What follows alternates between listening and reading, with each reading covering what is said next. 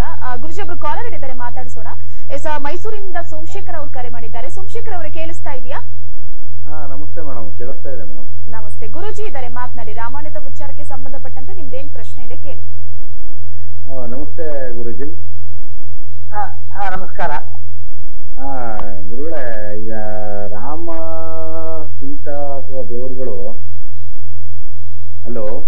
ಮಾತಾಡಿ ಮಾತಾಡಿ ಗುರುಜಿ ಕೇಳಿಸುತ್ತೆ ದೇವರುಗಳು ಇರೋದು ಸತ್ಯನ ಗುರುಜಿ ದೇವರುಗಳು ಇರೋದು ಇದೆ, ಹಲೋ ಕಟ್ ಕಟ್ ಆಗ್ತಾ ಇದೆ. ಕಟ್ ಕಟ್ ಏನಿಲ್ಲ ಕೇಳಿಸ್ತೈತೆ ಕರೆಕ್ಟ್ ಆಗಿ ಕೇಳಿಸ್ತೈತೆ ನನ್ನ ಪ್ರಶ್ನೆಗೆ ತಮ್ಮ ಉತ್ತರ ನಿಕಟವಾಗಿಲ್ಲ ಗುರುಜಿ. ಹೇಳಿ ಹೇಳಿ ನೀವು ಪ್ರಶ್ನೆ ಅವರಿಗೆ ಸರಿಯಾಗಿ. ದೇವರುಗಳು ಇರೋದು ಸತ್ಯನಾ ಅಂತ ಕೇಳ್ತಾ ಇದ್ದೀನಿ. ಯಾರು? ರಾಮ ಲಕ್ಷ್ಮಣನ ಎಲ್ಲಾ ದೇವರುಗಳು ಯಾರು ಇರುವುದು? ಅಂತ? ದೇವಮಾನವರು ಇರುವುದು ಸತ್ಯನಾ ಈ ಕಲಿಯುಗದಲ್ಲಿ ಅಂತ ಕೇಳ್ತಾ ಇದೀನಿ ಗುರುಜಿ. ಖಂಡಿತ ಖಂಡಿತ ಖಂಡಿತ. ಅದ್ರ ಬಗ್ಗೆ. ಎಲ್ಲ ಇಲ್ಲ. ಭೂಮಿಯಲ್ಲೇ ಇದ್ದಾರೆ. ದೇವತೆಗಳು ಇದ್ದಾರೆ ಮಾನವರು ಇದ್ದಾರೆ ರಾಕ್ಷಸರು ಇದ್ದಾರೆ ಭೂಮಿಯಲ್ಲೇ. ಎಲ್ಲ ಇಲ್ಲೇ ಇದ್ದಾರೆ. ಯಾರು ಸದಾ ಕಾಲ ಇನ್ನೊಬ್ಬರಿಗೆ ಸಹಾಯವಾಗತಕ್ಕಂತಹ ಜೀವನ ಮಾಡ್ತಾ ಆಧ್ಯಾತ್ಮವನ್ನು ಆಚರಿಸುತ್ತಾರೆ ಅವರು ದೇವತೆಗಳ ಸಮಾನರು. ಅವರನ್ನು ದೇವತೆಗಳಂತ ಗುರುತಿಸಬಹುದು. ತನ್ನ ವೈಯಕ್ತಿಕ ಜೀವನವನ್ನ ಯಾರಿಗೂ ತೊಂದರೆ ಆಗದಂತೆ ಬದುಕುತ್ತಾರೆ ಪರೋಪಕಾರಾಯ ಪುಣ್ಯಾಯ, ಪಾಪಾಯ ಪರಪೀಡನಂತೆ ವ್ಯಾಸವಚನದಂತೆ ಬದುಕುವವನು ಮಾನವರು. ಇನ್ನೊಬ್ಬರಿಗೆ ತೊಂದರೆ ಕೊಡುವುದೇ ತನ್ನ ಜೀವನ. ಅದರಲ್ಲೇ ಏನಾದ್ರು ಮಾಡಬೇಕು ಅಂತ ಬದುಕೋರೆ ರಾಕ್ಷಸ ಭೂಮಿಯಲ್ಲೇ ಇದ್ದಾರೆ. ಎಲ್ಲೋ ಹುಡುಕು ಹೋಗುದು ಮಾಡದು ಸಿಗ್ತಾರೆ ಚಿಂತೆ ಬೇಡ ಧನ್ಯವಾದಗಳು ಸೋಮಶೇಖರ್ ಅವರೇ ಕರೆ ಮಾಡಿದ್ದಕ್ಕೆ. ಆ, ಗುರುಜಿ ಮುಂದಿನ ಪ್ರಶ್ನೆ. ಈಗ ರಾಮನ ಅಂತ್ಯದ ವಿಚಾರವಾಗಿ ಮಾತನಾಡಬೇಕಾಗುತ್ತೆ ರಾಮನ ಅಂತ್ಯ ಯಾವ ರೀತಿ ಆಯ್ತು? ಏನ್ ಸಂದರ್ಭ ಎದುರಾಯ್ತು? ಇದ್ರ ಬಗ್ಗೆ ಹೇಳೋದಾದ್ರೆ ಗುರುಜಿ. ಕಾಲಪುರುಷನ ಅಪೇಕ್ಷೆಯ ಮೇರೆಗೆ ಹ್ಮ್. ಲಕ್ಷ್ಮಣನಿಗೆ ರಾಮ ವಿಧಿಸಿದ ದಂಡ ವಿಧಿಸಲ್ಪಡುತ್ತೆ. ಓಕೆ. ನಂತರ ರಾಮನು ಕೂಡ ತಾನು ಪ್ರಾಯೋಪವೇಶವನ್ನ ಹೊಡೆದು ಸರಯು ನದಿಯಲ್ಲಿ ಅಷ್ಟಂಗನಾಗ್ತಾನೆ ಭೌತಿಕ ಕಾಯವನ್ನು ಬಿಡ್ತಾನೆ. ರಾಮ ಸತ್ತಿಲ್ಲ. ಗೊತ್ತಾಯ್ತಲ್ಲ? ರಾಮ ಸತ್ತಿದ್ದಾನೆ ಅಂತ ಹೇಳೋದಕ್ಕೆ ನಮ್ಮ ಸಿದ್ಧಾಂತ ಒಪ್ಪುವುದಿಲ್ಲ ರಾಮ ರಾಮನಾಗಿ ಎಲ್ಲಿಯವರೆಗೆ ಅವನ ಹೆಸರು ಶಾಶ್ವತ ಭೂಮಿಯಲ್ಲಿ ಇರ್ತದೋ ಅಲ್ಲಿಯವರೆಗೂ ರಾಮ ಸಾಯುವುದಿಲ್ಲ. ಚಿರಂಜೀವಿ ಅವನಿಗೆ ನಾವು ಪೂಜೆ ಮಾಡ್ತಾ ಇರ್ತೇವೆ. ಬಿಡುವುದೂ ಇಲ್ಲ. ರಾಮ ಸತ್ತಿಲ್ಲ. ಭೌತಿಕ ಕಾಯ ಅಗತ್ಯವಿಲ್ಲ ವ್ಯವಹಾರದಲ್ಲಿ. ಅಗತ್ಯ ಬಿಟ್ಟಿದ್ದಾನೆ ಅಷ್ಟೇ. ಭೌತಿಕ ಕಾಯವನ್ನು ಬಿಟ್ಟಿದ್ದಾರೆ. ರಾಮನಾಗಿ ಪ್ರಕಟ ಪ್ರಪಂಚದಲ್ಲಿ ನಿರಂತರ ಶಾಶ್ವತವಾಗಿರ್ತಾರೆ. ಖಂಡಿತ ಖಂಡಿತ. ವಿಷ್ಣು ದಶಾವತಾರವನ್ನ ಎತ್ತಿರುವಂತದ್ದು ತಿಳಿದಿದೆ ನಮಗೆ. ಅದರಲ್ಲೂ ಕೂಡ ರಾಮನ ಅವತಾರ ಒಂದು ಅಂತ ಹೇಳ್ತಾರೆ. ಆದ್ರೆ ರಾಮನ ಅಂದ್ರೆ ಒಂದೊಂದು ಅವತಾರಗಳು ಕೂಡ ಅಂತ್ಯವಾಗಬೇಕು ಅಂತ ಅಂದ್ರೆ ಅದಕ್ಕೆ ಒಂದು ಕಾರಣ ಇರುತ್ತೆ, ಒಂದು ಪುರಾವೆ ಅನ್ನೋ ಕತೆ ಇರುತ್ತೆ ರಾಮನ ಅಂತ್ಯದ ವಿಚಾರವಾಗಿ. ಕೆಲವೊಂದಿಷ್ಟು ಕತೆಗಳನ್ನ ಕೂಡ ನಾವು ಕೇಳಿರುವಂತದ್ದು ಅಂದ್ರೆ ಪ್ರತಿಯೊಂದು ಅವತಾರದ ಅಂತ್ಯದಲ್ಲೂ ಕೂಡ ರಾಮ ತನ್ನ ಉಂಗುರವನ್ನ ಅಂದ್ರೆ ತನ್ನ ಕೈಲಿದ್ದಂತ ಉಂಗುರವನ್ನ ನೆಲಕ್ಕೆ ಬಿರುಕು ಬಿಟ್ಟಂತ ನೆಲಕ್ಕೆ ಹಾಕ್ತಾರೆ. ಅದಾದ ನಂತರವಾಗಿ ಅವರ ಅಂತ್ಯವಾಗುತ್ತೆ ಎನ್ನುವಂತ ಮಾತುಗಳು ಕೂಡ ಇರುವಂತದ್ದು. ಹಿಂದಿನಿಂದಲೂ ಕಥೆಗಳು ಹೇಳುವಂತದ್ದು. ಇದು ನಿಜನಾ? ಹೌದಾ ಅಂತ? ಅದೆಲ್ಲ ಕಲ್ಪಿತ ಕಥೆಗಳು. ಎಲ್ಲ ಭೌತಿಕ ವಸ್ತುವನ್ನು ಭೂಮಿಯಲ್ಲಿ ಬಿಡುವುದು ಅನ್ನೋದೇ. ನಿರ್ವಾಣ ಅಂದ್ರೆ ಅದ ನಿರ್ವಾಣ ಅಂತ ಹೇಳ್ತಾರೆ. ಉಂಗುರ ಒಂದು ಭೌತಿಕ ವಸ್ತು. ಧರಿಸಿದ ಬಟ್ಟೆಯ ಭೌತಿಕ ವಸ್ತು. ಎಲ್ಲವನ್ನು ತ್ಯಾಗ ಮಾಡಿಯೇ ಭೂಮಿಯಲ್ಲಿ ಲೀನವಾಗುವುದೇ ಮಹಾನಿರ್ವಾಣ ಅಂತ ಅರ್ಥ. ಉಂಗುರ ಹಾಕಿದ್ ಮಾತ್ರ ಅಲ್ಲ. ಎಲ್ಲವನ್ನು ಬಿಡಲೇಬೇಕು ಭೂಮಿಯಲ್ಲಿ ಭೌತಿಕತೆಯ ತ್ಯಾಗ ಮಾಡೋದಂದ್ರೆ ಭೌತಿಕ ವಸ್ತು ಇಟ್ಟುಕೊಂಡು ತ್ಯಾಗ ಮಾಡೋಕೆ ಆಗೋದಿಲ್ಲ ಭೌತಿಕ ವಸ್ತು ಎಲ್ಲ ಬಿಟ್ಟರೆ ತ್ಯಾಗ ಮಾಡೋಕ್ಕಾಗೋದು. ಹಾಗಾಗಿ ಭೌತಿಕ ವಸ್ತು ತ್ಯಾಗ ಅಂತ ಹೇಳೋದಕ್ಕೆ ಯಾರೊಬ್ಬ ಸಾಹಿತಿ ಕವಿ ರಾಮಭಕ್ತ ಕೈಗ ಉಂಗುರವನ್ನ ಭೂಮಿಯಲ್ಲಿ ಹಾಕಿದ ಅಂತ ಹೇಳೋ ತ್ಯಾಗವನ್ನು ತೋರಿಸ್ಬೋದು ಹೋದ್ರಷ್ಟು. ಆದ್ರೆ ರಾಮ ಮತ್ತೆ ಹನುಮಂತ ಇಬ್ಬರದು ಕೂಡ ಬಿಟ್ಟಿರಲಾಗದಂತಹ ನಂಟು. ಲಕ್ಷ್ಮಣ ಕೂಡ ದೂರದಂತಹ ಸಂದರ್ಭದಲ್ಲಿ ರಾಮನ ಜೊತೆ ಇದ್ದಂತದ್ದು ಹನುಮಂತ. ಸೊ ಹನುಮ ಯಾವಾಗ್ಲೂ ಕೂಡ ರಾಮನ ಜೊತೆ ಇದ್ದದ್ದು ಆದ್ರೆ ಅಂತ್ಯವಾಗುವಂತಹ ಸಂದರ್ಭದಲ್ಲಿ ಇರ್ಲಿಲ್ವಾ? ಅಂದ್ರೆ ಈಗ ರಾಮನ ಅವತಾರ ಹೋಗುವಂತ ಸಂದರ್ಭದಲ್ಲಿ ಹನುಮಂತ ಜೊತೆಗಿರ್ಲಿಲ್ವಾ? ಆ ಇದ್ರ ವಿಚಾರವಾಗಿ ಹೇಳೋದಾದ್ರೆ. ಹನುಮಂತ ಇದ್ದ. ಅವನಿಗೆ ಹೇಳ್ತಾನೆ ಏನು ಇನ್ನು ಇಲ್ಲಿ ಇರಬೇಡ. ಗಂಧಮಾದನ ಪರ್ವತದ ಹೋಗಿ ಕದಳಿವನ ಪ್ರದೇಶದಲ್ಲಿ ನೆಲೆಸುವಂತ ಹನುಮಂತರಿಗೆ ಹನುಮಂತನಿಗೆ ಆದೇಶ ಕೊಟ್ಟೆ ರಾಮನು ಮಹಾನಿರ್ವಾಣವನ್ನ ಪಡೆಯುವಂತ ಹೇಳ್ತದೆ. ಈಗಲೂ ಕದಳಿವನ ಪ್ರದೇಶ ಅಂತಿದೆ. ಆ ಪ್ರದೇಶದಲ್ಲಿ ಹನುಮಂತನ ಚರ್ಯಗಳನ್ನ ಕೆಲವು ಸಂದರ್ಭದಲ್ಲಿ ಗುರುತಿಲಿಕ್ಕೆ ಸಿಗ್ತದೆ. ಇಲ್ಲ ಅಂತ ಏನಿಲ್ಲ. ಆದ್ರೆ ಹನುಮಂತ ಎಲ್ಲಾ ಕಡೆಯಲ್ಲೂ ಇದೆ. ಅಲ್ಲಿ ಮಾತ್ರ ಅಲ್ಲ. ಎಲ್ಲಿ ಸದೃತಿ ಇದೆ ಎಲ್ಲಿ ಪರಸ್ಪರ ಸಹಾಯ ಮಾಡುವಂತ ಪ್ರವೃತ್ತಿ ಇದೆ. ಅಲ್ಲೆಲ್ಲ ಹನುಮಂತ ಜೀವಂತವಾಗಿ ಇಲ್ಲಿದ್ದಾನೆ. ಗುರುಜಿ ಅವರು ಕಾಲರ್ ಹಿಡಿದರೆ ಮಾತಾಡಿಸೋಣ ಚಿಕ್ಕಮಗಳೂರಿಂದ ಗಿರೀಶ್ ಅವರು ಕರೆ ಮಾಡಿದ್ದಾರೆ. ಗಿರೀಶ್ ಅವರು ಕೇಳಿಸ್ತಾ ಇದೆ ನಿಮ್ಗೆ? ಹಾ, ಕೇಳಿಸ್ತಿದೆ ಮೇಡಮ್ ಹ್ಮ್ ಮಾತಾಡಿ. ಆ, ಗುರುಜಿ ಇದ್ದಾರೆ. ನಮಸ್ತೆ ಸ್ವಾಮೀಜಿ. ಈಗಿನ ಈಗಿನ ಬುದ್ಧಿಜೀವಿಗಳು ರಾಮ ಹುಟ್ಟಿದ್ದು ಪಾಯಸದ ಪ್ರಭಾವದಿಂದ ಅಂತ ಹೇಳ್ಬಿಟ್ಟು ಒಂದು ಕುಹಕವಾಗಿ ಹೇಳ್ತಾರೆ. ಉದಾಹರಣೆ ಹೇಳಿದ್ರೆ ಭಗವಾನ್ ಪ್ರಭಾವದಿಂದ? ಪಾಯಸದ ಪ್ರಭಾವದಿಂದ? ಅಂತ ಹೇಳ್ಬಿಟ್ಟು. ಆ ಪಾಯಸ ಪಾಯಸದ ಪ್ರಭಾವದಿಂದ ಅಂತ ಹೇಳ್ಬಿಟ್ಟು ಅವನು ಪಾಯಸದಿಂದ ಹುಟ್ಟಿದ್ದು ಎಂಬುದಾಗಿ ಹೇಳ್ತಾರೆ. ಆದ್ರೆ ನಾವು ಇದನ್ನ ಈಗಿನ ಆಧುನಿಕ ವೈದ್ಯಕೀಯ ಶಾಸ್ತ್ರದ ರೀತಿ ನೋಡೋದಾದ್ರೆ ಓವಲ್ಯೂಷನ್ ಇಂಡ್ಯೂಷನ್ ಅಂತ ಹೇಳ್ಬೋದು. ಅಂದ್ರೆ ಅಂಡಾಶಯ ಮರುತ್ಪತ್ತಿ ಮಾಡುವಂತದ್ದು ಅಂತಾನು ಹೇಳ್ಬೋದು. ಹಂಗಾಗಿ ಅಂತಹ ಆಯುರ್ವೇದ ಆಯುರ್ವೇದದಲ್ಲಿ ಅಷ್ಟು ಮಹತ್ವ ರೀತಿಯಲ್ಲಿ ನಾವು ತ್ರೇತಾಯುಗದಲ್ಲೇ ಇದ್ವಿ. ಈ ಆಯುರ್ವೇದಿಯ ಬಗ್ಗೆ ಯಾವ ರೀತಿ ನೀವು ತಿಳಿಸ್ಕೊಳ್ಬಹುದು ಅಂತ ಹೇಳ್ಬಿಟ್ಟು. ಖಂಡಿತ ಸಾಧ್ಯತೆ ಇದೆ. ರಾಮ ಹುಟ್ಟಿದ್ದು ಮಾತ್ರ ಅಲ್ಲ, ಯಾರೋ ಕುತ್ಸಿತವಾದಿಗಳಿಗೆ ಅದಕ್ಕೆ ಬೇರೆ ಬೇರೆ ಅರ್ಥ ಕಲ್ಪನೆ ಆಗ್ಬೋದು. ಆದ್ರೆ ಅವೆಲ್ಲವೂ ಕೂಡ ವೈದ್ಯಕೀಯ ಶಾಸ್ತ್ರದಲ್ಲಿ ಸಮರ್ಥನೆಗೆ ಒಳಪಟ್ಟು ಸತ್ಯವೂ ಹೌದು. ಅಂತ ತುಂಬಾ ಜನಗಳು ನಮಗೆ ಉದಾಹರಣೆ ಸಿಗ್ತದೆ. ಜರಾಸಂಧ ಹುಟ್ಟಿದ್ದು ಕೂಡ ಮಾವಿನ ಹಣ್ಣು ತಿಂದೆ. ಕೆಟ್ಟವನು, ಒಳ್ಳೆಯವನಲ್ಲ.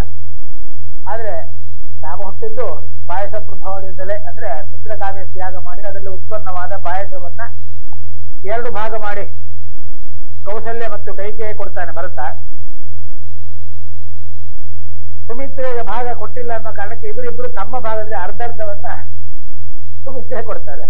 ಆಗ ಸುಮಿತ್ರೆ ಎರಡು ಮಕ್ಕಳು ಹೇಳ್ತಾರೆ, ಇವರಿಬ್ರು ಒಂದೊಂದು ಮಗುವನ್ನು ಹೇಳ್ತಾರೆ ಅದು ಆ ಪುತ್ರಕಾಮೇಶ್ವರಿ ಯಾಗದ ಅಲ್ಲಿ ನಡೆದಂತ ಪಾಯಸೋತ್ಪನ್ನ ವಿಧಿ ಇದೆಯಲ್ಲ ಅದು ಆಯುರ್ವೇದ ರೀತಿಯೂ ಕೂಡ ಚಾಲ್ತಿಯಲ್ಲಿದೆ. ಆ ರೀತಿ ಆಹಾರ ಸ್ವರೂಪದಲ್ಲಿ ದೇಹವನ್ನು ಸೇರಿಸಿ ಯಾವುದೇ ಪುರುಷ ಸಂಪರ್ಕವಿಲ್ಲದೇನೆ ಮಕ್ಕಳನ್ನು ಪಡೆಯಬೇಕಾಗ್ತಕ್ಕಂಥ ಒಂದು ವಿಧಾನ. ದೇಹದಲ್ಲಿ ಸೇರಿಸುವಂತ ಅದು ನೇರ ಗರ್ಭಾಶಯವನ್ನು ಸೇರಿ ಅಲ್ಲಿ ಭ್ರೂಣವಾಗಿ ಬೆಳೆದು ಮಗುವಾಗಿ ಹುಟ್ಟಿ ಬರ್ತದೆ. ಅದು ಚಿಕಿತ್ಸಾ ವಿಧಾನದಲ್ಲೂ ಇದೆ. ಈಗ ಬಳಸೋದಿಲ್ಲ ಈಗ ಹಾಗೆ ಹುಟ್ಟು ಬಂದವೇ ಹೆಚ್ಚಾಗಿದೆ ಸಮಸ್ಯೆ. ಪ್ರಪಂಚದಲ್ಲಿ ಜನಸಂಖ್ಯೆ ಹೆಚ್ಚಾಗ್ತಿದೆ. ಹಾಗಾಗಿ ಈಗ ಅದ್ರ ಅಗತ್ಯ ಇಲ್ಲ. ಧನ್ಯವಾದಗಳು ಗಿರೀಶ್ ಅವರೇ ಕರೆ ಮಾಡಿದ್ದಕ್ಕೆ. ಗುರುಜಿ ಮತ್ತೊಬ್ರು ಕಾಲರ್ ಇದ್ದಾರೆ ಕಿರಣ್ ಅಂತ. ಆ, ಕಿರಣ್ ಅವರು ಕೇಳಿಸ್ತಿದ್ಯಾ? ಇದಾನೆ ನೂರಕ್ಕೆ ಸಾವಿರ ಪರ್ಸೆಂಟ್ ಇದಾನೆ ಅವ್ರು ಯಾರೋ ನಿಮ್ಮ ಹತ್ರ ಮಾತಾಡಲ್ಲ ಕಿರಣ್ ಅವರೇ ನನ್ನ ಪ್ರಶ್ನೆ ಕೇಳಿಸ್ತಾ ಇದೆಯಾ? ನಾನು ಮಾತಾಡ್ತಿರೋದು ಕೇಳಿಸ್ತಿದ್ಯಾ? ಹೇಳಿ ಮೇಡಮ್ ಈಗ ಈಗ ಮಾತಾಡಿ ನೀವು ಮಾತಾಡ್ತಿರೋದು ಇಲ್ಲಿವರೆಗೂ ಕೇಳಿಸಿಲ್ಲ. ಗುರೂಜಿ ಇದ್ದಾರೆ ರಾಮಾಯಣದ ವಿಚಾರಕ್ಕೆ ಸಂಬಂಧಪಟ್ಟಂತೆ ಮಾತ್ರ ಪ್ರಶ್ನೆಯನ್ನ ಕೇಳಿ. ಮೇಡಮ್ ಆಯ್ತು. ರಾಮಾಯಣ ರಾಮ ಸೀತೆ ಆಂಜನೇಯ ಎಲ್ಲದೂ ಗೊತ್ತಿದೆ. ದಯವಿಟ್ಟು ಏನ್ ಗೊತ್ತಾ? ನಮ್ಮ ಸ್ವಾಮೀಜಿ ಅವರಿಗೆ ಬೇರೆ ಒಂದು ಐದು ನಿಮಿಷ ಮೊದ್ಲು ಒಂದು ಕಾಲ್ ಬಂತು.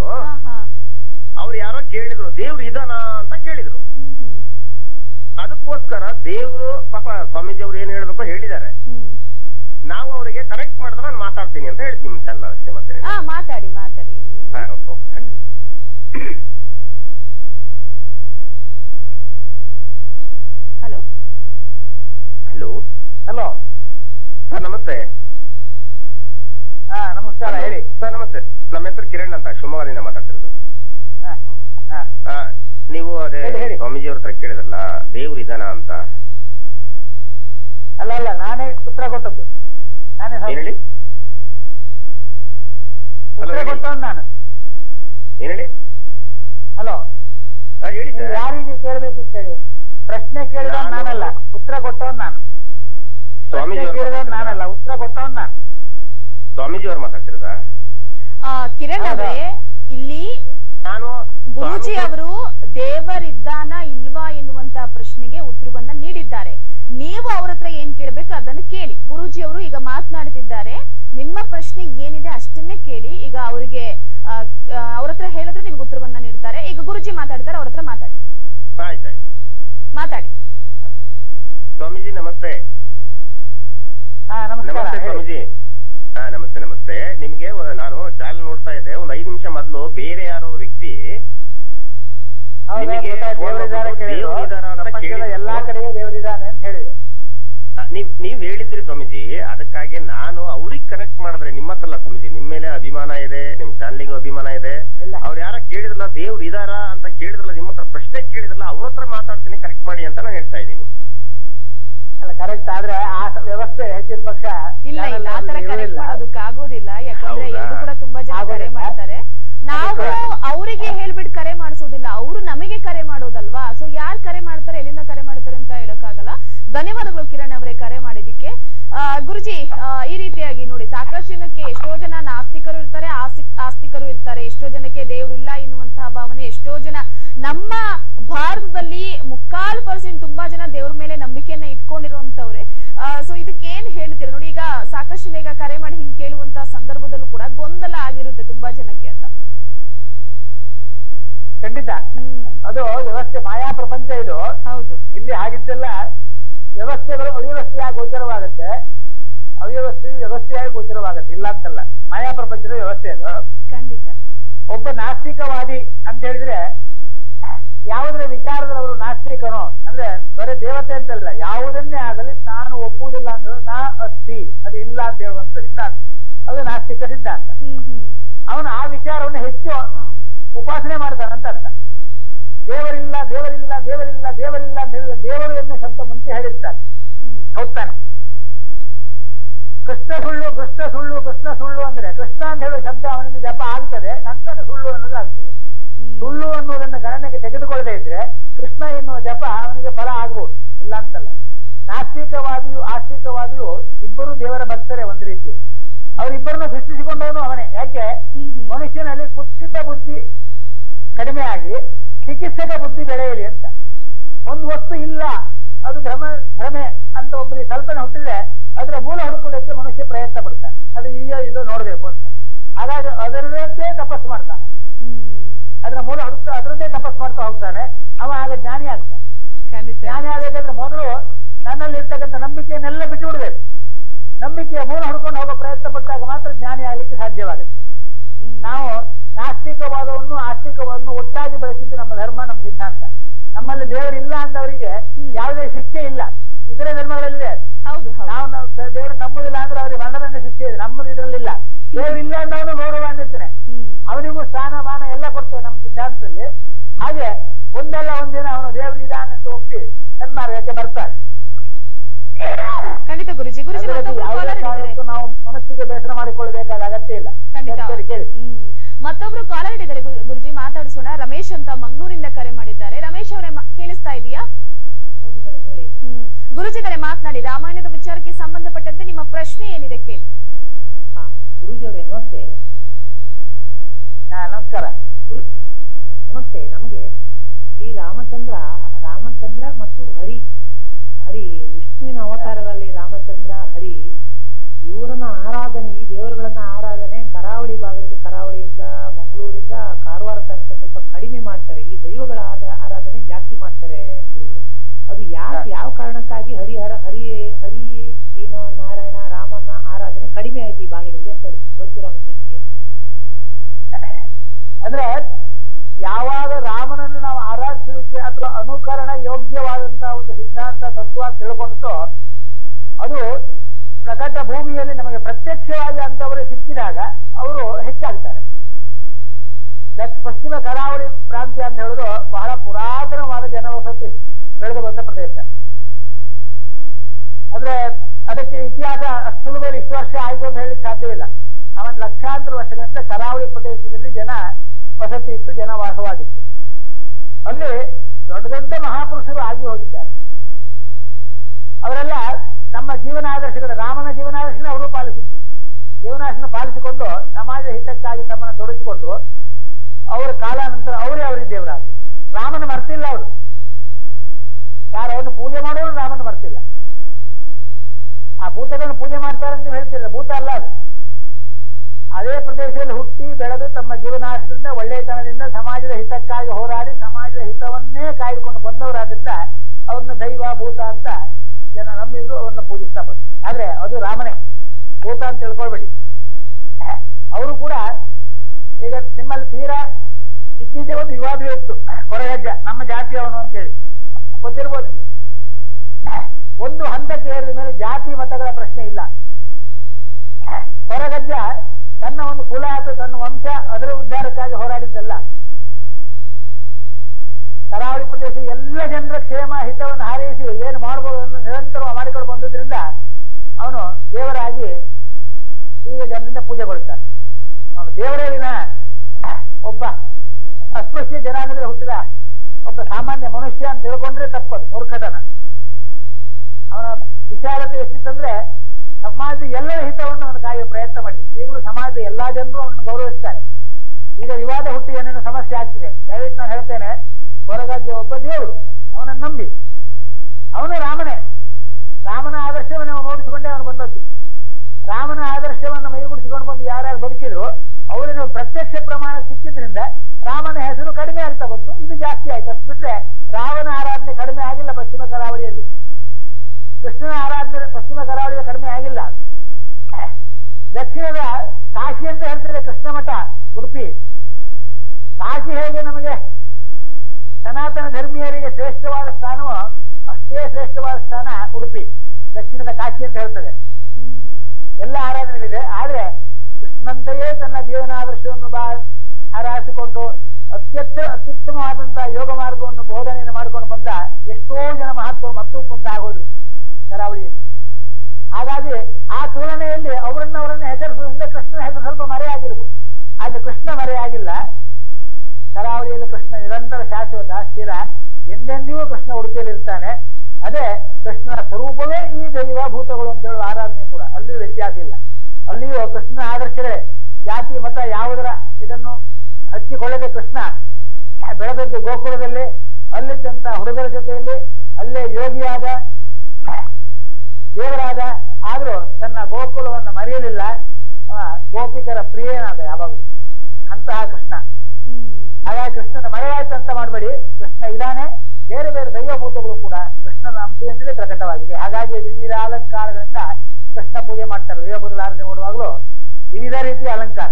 ಅಲಂಕಾರ ಮಾಡೋ ಕಲ್ಪನೆ ಅದಾಗಿದೆ ಕೃಷ್ಣ ಅಲಂಕಾರ ಮಾಡೋದು ಬಿಟ್ಟು ಏನೋ ಒಂದು ಅಲಂಕಾರ ಮಾಡ್ತಾರೆ. ಆದ್ರೆ ಆ ಅಲಂಕಾರ ಮತ್ತು ವಿವಿಧ ಅಲಂಕಾರ ಸ್ವರೂಪ ಅಂತ ಅರ್ಥ. ಭೂತಾರ ಭೂತಾರಾಧನೆ ಭೂತಾರಾಧನೆ ಅಥವಾ ಉದ್ದಾರಾಧನೆ ಅಂತ ಅದಕ್ಕೆ ಸಂಬಂಧಪಟ್ಟಂತ ಆ ಅಲ್ಲಿನ ತಿಗಳ ಲಿಪಿಯಲ್ಲಿರ್ತಕ್ಕಂಥ ಗ್ರಂಥ ಇದೆ. ಅದನ್ನು ಓದಿ ಗೊತ್ತಾಗುತ್ತೆ.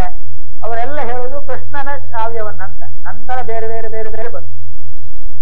ಖಂಡಿತ ಖಂಡಿತ. ಧನ್ಯವಾದಗಳು ರಮೇಶ್ ಅವರೇ ಕರೆಯನ್ನ ಮಾಡಿದಕ್ಕೆ ಅವರಿಗೆ ಮಾಹಿತಿ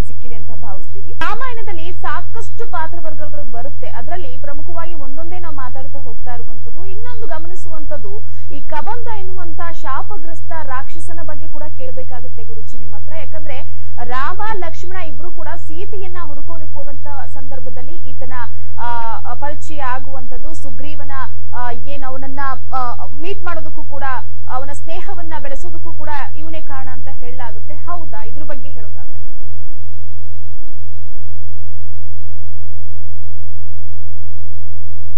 ಗುರುಜಿ ನನ್ನ ಧ್ವನಿ ಕೇಳಿಸ್ತಾ ಇದೆಯಾ ನಿಮಗೆ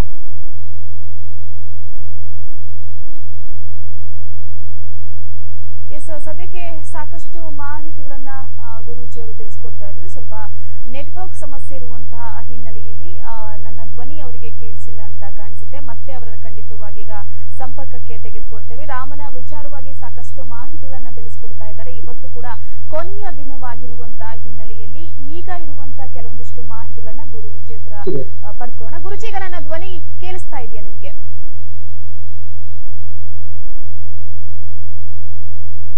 ಗುರುಜಿ ಕೇಳಿಸ್ತಿದೆ ಅಲ್ಲ ನನ್ನ ಧ್ವನಿ ನಿಮಗೆ?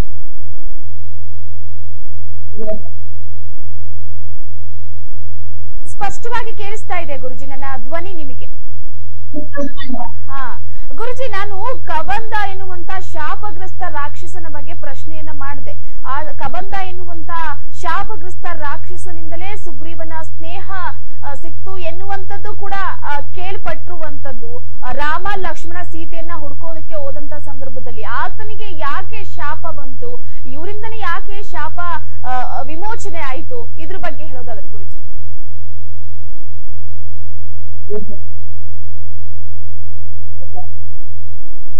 ಗುರುಜಿ ಅವರಿಗೆ ಸಂಪರ್ಕ ಸಿಗ್ತಾ ಇಲ್ಲ, ಅವರಿಗೆ ಸ್ವಲ್ಪ ಸಂಪರ್ಕ ಕಡಿತ ಆಗ್ತಾ ಇದೆ ವಿಷಯಗಳು ಕೇಳೋದಿತ್ತು ಆದ್ರೆ, ಆ ಗುರುಜಿ ಅವರಿಗೆ ಏನು ಕೂಡ ಕೇಳಿಸ್ತಾ ಇಲ್ಲ. ತುಂಬಾ ಜನ ವೀಕ್ಷಕರು ಕೂಡ ಪ್ರಯತ್ನ ಮಾಡ್ತಾ ಇದ್ದಾರೆ, ಕರೆಯನ್ನ ಮಾಡ್ತಾ ಇರುವಂತದ್ದು ಅವ್ರ ಹತ್ರ ಪ್ರಶ್ನೆಯನ್ನ ಕೇಳಬೇಕು ಅಂತ. ಆದ್ರೆ, ನೆಟ್ವರ್ಕ್ ಸಮಸ್ಯೆಯಿಂದ ಗುರುಜಿ ಅವರನ್ನ ಸಂಪರ್ಕ ಮಾಡೋದಕ್ಕೆ ಆಗ್ತಾ ಇಲ್ಲ. ಮೊದಲ ದಿನದಿಂದಲೂ ಕೂಡ ಇಲ್ಲಿವರೆಗೂ ರಾಮನ ಪಟ್ಟಾಭಿಷೇಕ, ಜನನ, ಹಾಗೆ ಸಾಕಷ್ಟು ಜನಕ್ಕೆ ಗೊಂದಲ ಇತ್ತು. ರಾಮಾಯಣದ ವಿಚಾರವಾಗಿ ನಿಜವಾಗ್ಲೂ ರಾಮಾಯಣ ನಡೆದಿದೆಯಾ? ಸಿಕ್ಕಿರುವಂತಹ ಪುರಾವೆಗಳಾಗಿರ್ಬೋದು, ರಾಮಾಯಣದಲ್ಲಿ ಬರುವಂತಹ ಪಾತ್ರಗಳಾಗಿರ್ಬೋದು, ಇದೆಲ್ಲದರ ಬಗ್ಗೆ ಕೂಡ ಸಾಕಷ್ಟು ಗೊಂದಲ ಇತ್ತು. ಹಾಗೆ ಆಂಜನೇಯದ ವಿಚಾರವಾಗಿ ಆಗಿರ್ಬೋದು ಲಕ್ಷ್ಮಣನ ವಿಚಾರವಾಗಿ ಇವೆಲ್ಲವೂ ಕೂಡ ಸಾಕಷ್ಟು ಆ, ಗೊಂದಲ ಇದ್ದದನ್ನ ಗುರುಜಿ ಅವರು ನಿಭಾಯಿಸ್ತಾ ಇದ್ರು.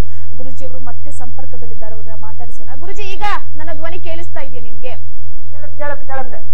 ಆ ಗುರುಜಿ. ಗುರುಜಿ ಮಾತಾಡೋಣ. ಕಬಂದ ಶಾಪಗ್ರಸ್ತ ರಾಕ್ಷಸನ ಬಗ್ಗೆ ನಾನೊಂದು ಪ್ರಶ್ನೆ ಕೇಳಿದೆ ನಿಮ್ಗಾಗ ಸರಿಯಾಗಿ ಕೇಳಿಸ್ತಿಲ್ಲ.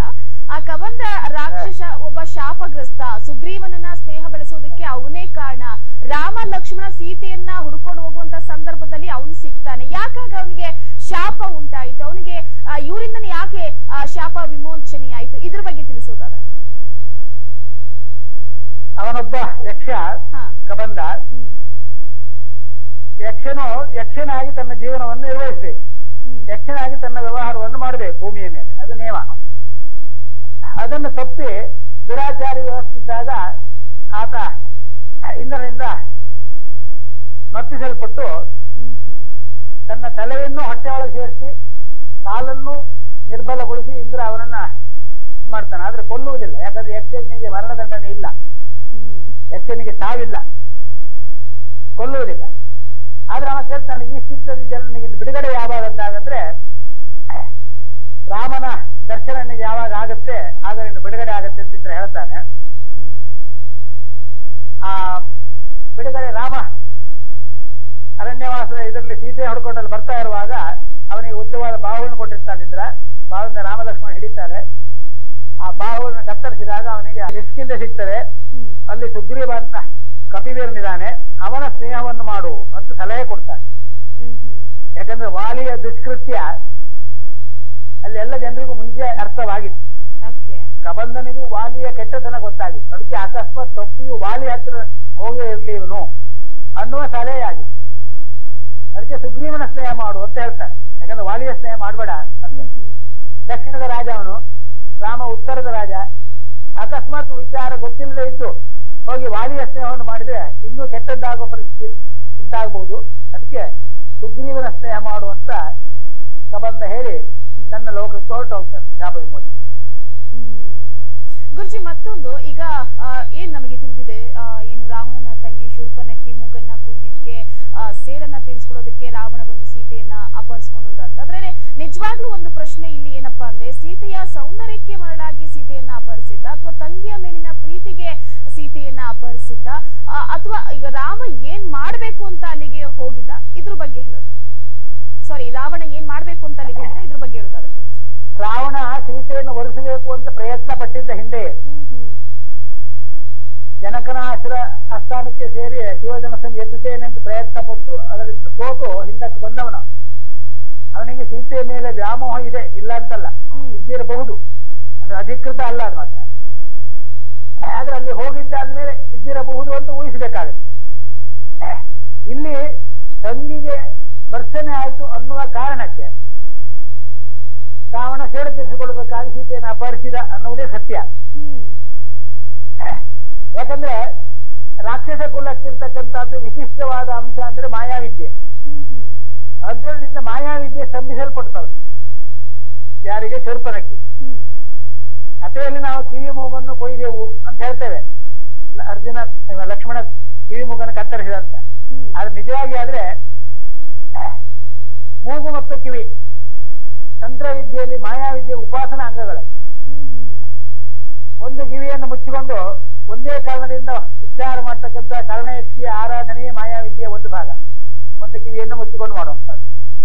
ಇನ್ನೊಂದು ಪ್ರಾಣವನ್ನ ಹಿಂದೆ ಮುಂದೆ ಮೇಲೆ ಕೆಳಗೆ ಎಳೆದುಕೊಳ್ಳುವುದು. ಪ್ರಾಣ ನೀವೀಗ ಪ್ರಾಣಾಯಾಮ ಅಂತಿರಲ್ಲ ಅದನ್ನೇ ಅದೊಂದು ರೀತಿಯ ಸಂಗೀತಂತೆ ವೀಣೆಯ ತಂತಿ ಮೀಟುವಂತೆ ಮೀಟುವ ವಿಧಾನವೇ ಇನ್ನೊಂದು ಮಾಯಾವಿದ್ಯೆಯ ಪ್ರಯೋಗ ಭಾಗ. ಅದೇನನ್ನು ಲಕ್ಷ್ಮಣ ಕತ್ತರಿಸಿದ ಅನ್ನೋದನ್ನ ಕಿವಿ ಮೂಗು ಕತ್ತರಿಸಿದು ಅಂತ ಕಥೆಯಲ್ಲಿ ಹೇಳಿದೆ. ಮಾಯಾವಿದ್ಯೆ ಬಹಳ ಪರಿಣ ಪಾಂಡಿತ್ಯವನ್ನು ಹೊಂದಿದವರು ಶೂರ್ಪನಕ್ಕೆ. ಅತಿ ಸುಂದರ ರೂಪವನ್ನು ಧರಿಸಿ ಧರಿಸಿ ರಾಮನಿಗೆ ಬಂದವಳವಳು ರಾಮನ ರಾಮನನ್ನು ನೋಡಕ್ ಬಂದಾಗ ಅತಿ ಸುಂದರ ರೂಪವನ್ನು ಧರಿಸಿ ಬಂದಿತ್ತು. ಆದರೂ ಸೀತೆಯ ರೂಪದ ಮುಂದೆ ರಾಮ ಶೂರ್ಪನಕ್ಕೆ ರೂಪ ಸರಿಗಟ್ಟಲಿಲ್ಲ. ಹಾಗಾಗಿ ಅವಳಿಗೆ ಸೀತೆಯ ಬಗ್ಗೆ ದ್ವೇಷ ಹುಟ್ಟುಕು ಅದನ್ನೇ ಹೋಗಿ ರಾವಣನಿಗೆ ಅವಳು ಸಿಗ್ತಾಳೆ ಅತಿ ರೂಪವತಿಯಾದ ಹೆಂಡತಿ ಇದ್ದಾಳೆ ಅವನಿಗೆ ಅಂತ. ರಾಮನಿಗೆ ಸೇರಿ ತೀರಿಸಿಕೊಳ್ಬೇಕು ಒಂದು ದಾರಿ ಸಿಕ್ತು ಸೀತೆಯನ್ನು ಅಪಹರಣ ಮಾಡೋ ಪ್ರಯತ್ನ ಮಾಡಿದ್ದಾರೆ. ಓಕೆ ಗುರುಜಿ. ಮತ್ತೊಂದು ಏನಪ್ಪಾ ಅಂತಂದ್ರೆ ಈಗ ಈ ರಾಮಾಯಣದಲ್ಲಿ ಪರಶುರಾಮನ ವಿಚಾರವಾಗಿ ಕೂಡ ಕೇಳಬೇಕಾಗುತ್ತೆ. ಮಹಾವಿಷ್ಣುವಿನ ಬಿಲ್ಲನ್ನ ಏನು ಪರಶುರಾಮ ಎಳಿವಂತೆ ರಾಮನಿಗೆ ಕೂಡ ಆಜ್ಞೆಯನ್ನ ಮಾಡ್ತಾನೆ. ಅದನ್ನ ಸಲೀಸಾಗಿ ರಾಮ ಎಳಿತಾನೆ ಎನ್ನುವಂತ ಕತೆ ಕೂಡ ಅಲ್ಲಿ ಬಂದು ಹೋಗುತ್ತೆ. ಅಲ್ಲಿವರೆಗೂ ರಾಮ ವಿಷ್ಣುವಿನ ಅವತಾರ ಅಂತ ಪರಶುರಾಮಿಗೆ ಗೊತ್ತಿರೋದಿಲ್ವಾ? ಇದ್ರ ಬಗ್ಗೆ ಹೇಳೋದಾದ್ರೆ. ಪರಶುರಾಮನಾಗಿ ಅವತರಿಸಿ ಅವನು ಮಾಡಬೇಕಾದ ಕಾರ್ಯವನ್ನು ಭೂಮಿಯ ಮೇಲೆ ಮಾಡಿರ್ತಾನೆ. ತ್ರೇತಾಯುಗದಲ್ಲಿ ಹುಟ್ಟಿದಂತಹ ಪರಶುರಾಮ ತನ್ನ ಕಾರ್ಯಗಳನ್ನೆಲ್ಲ ಭೂಮಿಯಲ್ಲಿ ಮಾಡಿ ಶಾಸ್ತ್ರ ಅಂತ ಹೇಳ್ತಕ್ಕಂಥ ವ್ಯವಸ್ಥೆಯನ್ನು ಒಂದಿಷ್ಟು ಹದ ಸಹ ಮಟ್ಟಕ್ಕೆ ತಂದಿರ್ತಾನೆ. ರಾಮನು ಅವತಾರ ಹುಟ್ಟಿ ಬಂದಿದ್ದಾನೆ ಎಂದು ಗೊತ್ತಾದಾಗ ತನ್ನ ಅಂಶವೇ ರಾಮನು ಅಂತೂ ಕೂಡ ಪರಶುರಾಮಿಗೆ ಪ್ರತ್ಯಕ್ಷವಾಗಿದ್ದರು. ಮುಂದೆ ವ್ಯವಹರಿಸಬೇಕಾದ ರಾಮನಾಗಿಯೇ ಪರಶುರಾಮನಾಗಿ ಅಲ್ಲ. ಅದಕ್ಕಾಗಿ ತನ್ನ ಅವತಾರದ ನಿರಸನ ಮಾಡುವ ಉದ್ದೇಶದಿಂದ ರಾಮನನ್ನ ಭೇಟಿಯಾಗಿ ಈ ಈ ವೈಷ್ಣವ ಶಿವಧನಸ್ಸನ್ನು ನೀನು ಮುರಿದೆಯಲ್ಲ ವೈಷ್ಣವ ಧನಸ್ಸನ್ನು ಹೆದೇರಿಸುವಂತೆ ಕೊಡ್ತಾನೆ. ವೈಷ್ಣವ ಧನಸ್ಸನ್ನು ಹೆದೇರಿಸಿದಾಗ ಅವನಿಗೆ ಅದ್ರ ಬಗ್ಗೆ ವಿಚಾರತೆ ಆಗ್ತದೆ. ಹಾಗಾಗಿ ರಾಮನಿಗೆ ನೀನು ಇನ್ನು ಮುಂದೆ ಅವತಾರದ ಕಾರ್ಯಗಳನ್ನು ಮಾಡು ಅಂತ ಹೇಳಿ ತಾನು ಸನ್ಯಾಸವನ್ನು ಮಾತ್ರ ನೆನೆಸಿಕೊಂಡಿರ್ತೇನೆ ಅಂತ ಪರಶುರಾಮ ಅಲ್ಲಿ ದರ್ಶನವಾಗಿ ಹೊರಟು ಹೋಗ್ತಾನೆ. ಹ್ಮ್. ಪ್ರಾಸ ನಾ ಹಿಂದೆ ಕಳೆದ ಸಾರಿಯ ಉತ್ತರ ಕೊಟ್ಟಿದ್ದೇನೆ. ಒಂದು. ನಾಲ್ಕೈದು ತಿಂಗಳ ಹಿಂದೆ. ಈಗ ವಶಿಷ್ಠ ಗುರುಗಳು ಈಗ ಏನು ರಾಮನಿಗೆ ಗುರುಗಳಾಗಿದ್ರು ಆ, ಏನು ಅವರಿಗೆ ರಾಮ ಅಂತ ಹೆಸರಿಟ್ಟಿದ್ದು ಅವರೇ ಅಂತ ಕೂಡ ಹೇಳ್ತಾರೆ. ಹೌದಾ? ರಾಮ ಅಂತ ಯಾಕೆ ರಾಮ ಅದ್ರಲ್ಲಿ ಏನ್ ಅಡಗಿದೆ ಶಕ್ತಿ ಅಂತ? ವಶಿಷ್ಠರು ಹ್ಮ್. ಕರ್ಮಠ ಪುರೋಹಿತ ಬಹಳ ಕರ್ಮನಿಷ್ಠರು ಅವರು. ಹ್ಮ್ ಹ್ಮ್. ಹಲವು ಕಲ್ಪಗಳಿಂದ ಜೀವಿಸಿಕೊಂಡು ಬಂದವರು ಅಂದ್ರೆ ವಸಿಷ್ಠ ಒಬ್ಬರೇ ಋಷಿಗಳಲ್ಲಿ. ಅಂದಿನಿಂದ ಇಂದಿನ ಇಂದಿನವರೆಗೂ ಸಪ್ತರ್ಷಿ ಪಟ್ಟಗಳಲ್ಲಿ ಒಂದು ಸ್ಥಾನವನ್ನು ಶಾಶ್ವತವಾಗಿ ಕಾಯ್ದುಕೊಂಡು ಬಂದವರು ವಸಿಷ್ಠೆ ಬೇರೆ ಎಲ್ಲ ಸಪ್ತರ್ಷಿಗಳು ಬದಲಾಗ್ತಾ ಹೋಗಿದ್ದಾರೆ. ವಸಿಷ್ಠರು ವಶಿಷ್ಠರು ಮಾತ್ರ ತಮ್ಮ ಸಪ್ತರ್ಷಿ ಸ್ಥಾನವನ್ನು ಕಾಯ್ದುಕೊಂಡೇ ಬಂದಿದ್ದಾರೆ. ಈಗಲೂ ಸಪ್ತರ್ಷಿಗಳ ಸ್ಥಾನದಲ್ಲಿ ವಸಿಷ್ಠರು ಒಬ್ರು. ಕರ್ಮಟ ಪುರೋಹಿತ ಬ್ರಾಹ್ಮಣ. ರಾಮನಿಗೆ ಪುರೋಹಿತ ಇಷ್ಟು ಅವತಾರ ಆಗುತ್ತೆ. ಅಯೋಧ್ಯೆಯಲ್ಲಿ ದಶರಥನ ಮಗನಾಗಿ ಅಂತ ಗೊತ್ತಾದಾಗ ಅವರಿಗೆ ಅದು ತಿಳ್ಕೊಳ್ಳುವ ಶಕ್ತಿ ತಿಳ್ಕೊಂಡಾಗ ಅಜನಿಗೆ ಪುರೋಹಿತನಾಗಿ ಬಂದು ಅಯೋಧ್ಯೆಯಲ್ಲಿ ಸೇರ್ಕೊಳ್ತಾರೆ. ಅಂದ್ರೆ ರಾಮನ ಅಜ್ಜನಿಗೆ.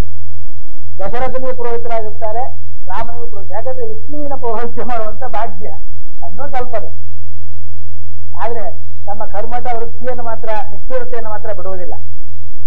ಅದನ್ನ ಹಾಗೆ ನಡೆಸ್ಕೊಂಡು ಹೋಗ್ತಾರ ಶಾಂತ ಸದ್ಗುಣಿ ಹಿತ್ತು ಅವರನ್ನ ಹತ್ತಿರ ಸಮೀಪ ಬರುವುದಿಲ್ಲ. ಯಾವುದೇ ಕಾರಣಕ್ಕೂ ಹಿತ್ತುಗೊಳ್ಳದ ಒಬ್ಬ ವ್ಯಕ್ತಿ ಅಂದ್ರೆ ನಮಗೆ ಸಿಕ್ಕೋದು ವಶಿಷ್ಠ ಮಹರ್ಷಿ ಮಾತ್ರ.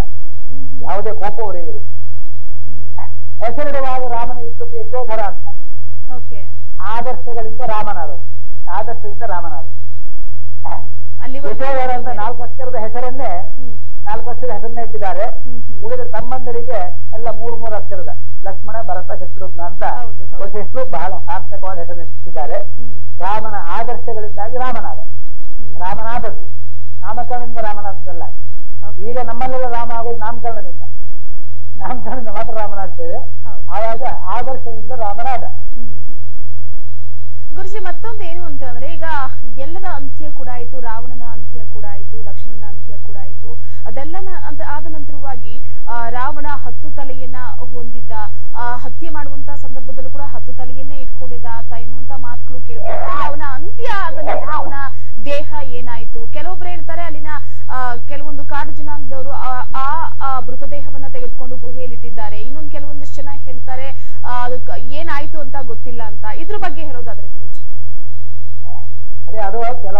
ಕಲ್ಪನೆಯಲ್ಲಿ ಹುಟ್ಟಿದ ವಿಚಾರಗಳು ಅದರಲ್ಲಿ ಯಾವುದೇ ಸತ್ಯವಿಲ್ಲ.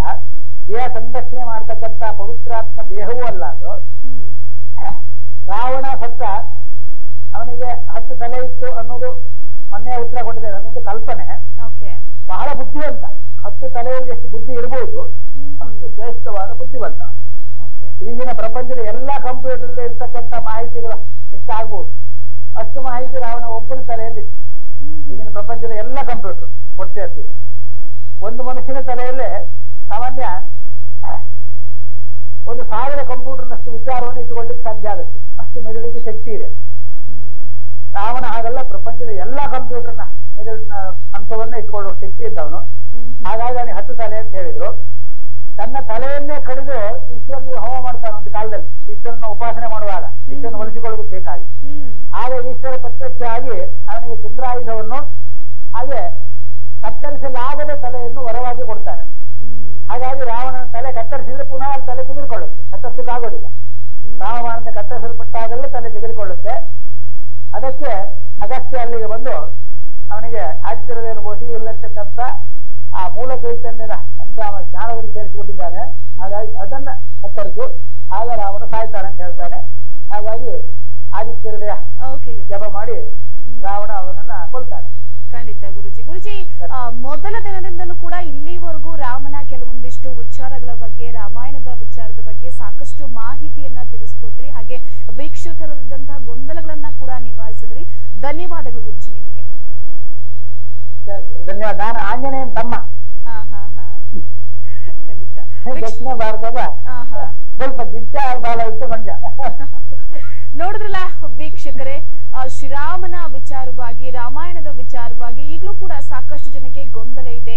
ಅದರ ವಿಚಾರವಾಗಿ ಸಾಕಷ್ಟು ಪ್ರಶ್ನೆಗಳು ತಲೆಯಲ್ಲಿ ಕೂತಿರುತ್ತೆ. ರಾಮಾಯಣದ ವಿಚಾರಕ್ಕೆ ಸಂಬಂಧಪಟ್ಟಂತೆ ಗುರುಜಿಯವರು ಕೂಡ ಕೆಲವೊಂದು ಪ್ರಶ್ನೆಗಳಿಗೆ ಉತ್ತರವನ್ನ ನೀಡಿದ್ರು. ಹಾಗೆ ರಾಮಾಯಣ ಎಂದ್ರೇನು? ರಾಮಾಯಣ ಹೇಗ್ ಬಂತು? ರಾಮನ ಪಾತ್ರ ಏನು ಲಕ್ಷ್ಮಣ ನೋಡ್ತಾ ರಾಜ್ ನ್ಯೂಸ್ ಇದು ಕನ್ನಡಿಗರ ಧ್ವನಿ.